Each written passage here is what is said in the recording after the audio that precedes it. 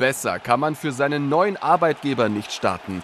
Dominik Baumann, der neue HFC-Stürmer und sein Premierentor nach zwei Minuten. Dafür hatte er auch einen guten Grund, sein kleiner Sohn Milan. Nee, er hat zu Hause zugeguckt äh, vom Fernseher, da musste dann ins Bett und äh, freue mich, dass er es noch erleben konnte so früh. Dass der HFC so früh seine Fans so glücklich macht, liegt auch daran, dass Essen so früh patzt. Edeltechniker Eisfeld mit der schlechten Ballannahme.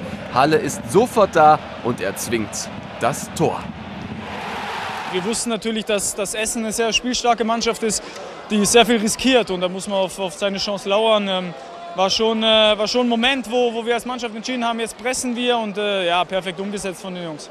Ja, das, da gehört auch ein bisschen Glück, die Nächsten dazu. Das ist dann einfach als, als, als Stürmer, stehst du dann richtig und dann musst du da sein und bin einfach froh, dass er dann reingegangen ist. Es entwickelt sich eine rasante Partie. Essen letzte Saison nur haarscharf am Abstieg vorbeigeschrammt, lässt sich vom Gegentreffer nicht runterziehen. Müsel zwingt Müller zu einer tollen Parade.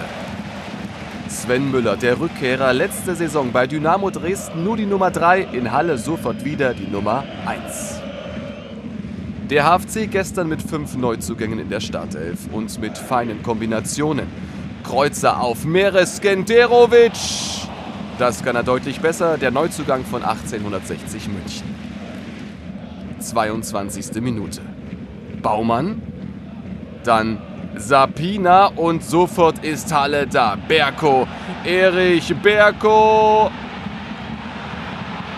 Berko macht vieles richtig, die Schussbahn immer blockiert. Er muss den Haken schlagen, am Ende einfach stark geklärt von Essens Schlussmann Golz.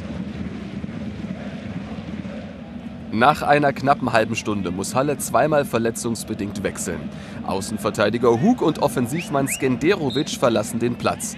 Die Jungspunde Haarlang und Crossweight kommen und der HFC verliert in der Folge mehr und mehr die Kontrolle über das Spiel. 37. Minute, Freistoß. Thomas Eisfeld Essen ganz nah dran am Ausgleich. Zwei Minuten später die erste und zugleich letzte Ecke des HFC gestern Abend. Niklas Kreuzer serviert genau für Baumgart. Tom Baumgart, auch ein Neuzugang, kam von Aue mit dem 2 zu 0. Der HFC in der letzten Saison offensiv so harmlos nach Ecken zeigt hier eine perfekte Variante. Wir haben äh, die Woche so viel geübt. Ich glaube, heute muss es passieren. Wir wussten natürlich, welche Räume wir bespielen wollen. Gerade am langen Pfosten, weg von, von Felix Bastians, von äh, Dumboya, nicht in diese Räume spielen. Hat perfekt funktioniert. Auch weil Niedfeld und Denis zum ersten Pfosten stürmen, ihre Gegenspieler mitziehen, so hat Baumgart am zweiten Pfosten mehr Platz zum Köpfen. Der Ball von Kreuz kommt super und ich muss das nur meinen Kopf hinhalten und das Ding platzieren. In Halbzeit 2 Halle vor allem mit Abwehrarbeit beschäftigt, lässt sich von Essen hinten reindrücken und so fällt folgerichtig der Anschluss in Minute 69 durch. Young! Der US-Boy, geboren in Berlin, New Jersey, leitet mit seinem schönen Treffer eine wilde Schlussphase ein. Das Tor klasse herausgespielt, der HFC kommt in keinen Zweikampf. Also das darf uns äh, definitiv nicht nochmal so passieren, gerade speziell zweite Halbzeit, dass wir dann kaum noch Entlastung geschaffen haben. Essen ist von einem Angriff in den nächsten gerollt und wir äh, haben kaum noch äh, geschafft, Kontrolle zu bekommen.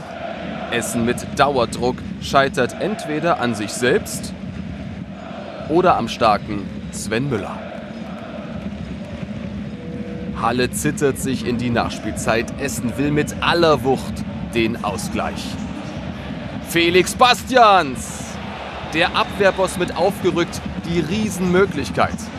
Vereitelt durch die Grätsche des Abends.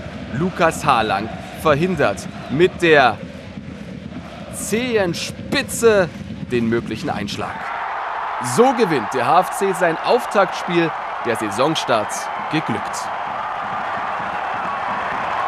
Riesen, riesen Kompliment an die Jungs. Äh, die haben das bis zum Schluss teilweise am Limit, auch vom Kopf her und von den Beinen. Und äh, das ist so beim ersten Spiel. Wir sind jetzt einfach froh, dass wir durch sind. Wir nehmen die Euphorie mit, wir nehmen die positive Stimmung äh, mit, die gerade herrscht. Aber nichtsdestotrotz ist uns auch bewusst, dass es vor allem fußballerisch besser geht.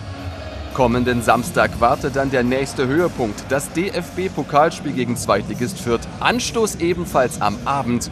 Ein erneut früher Treffer von Dominik Baumann würde Sohnemann Milan ganz sicher wieder freuen.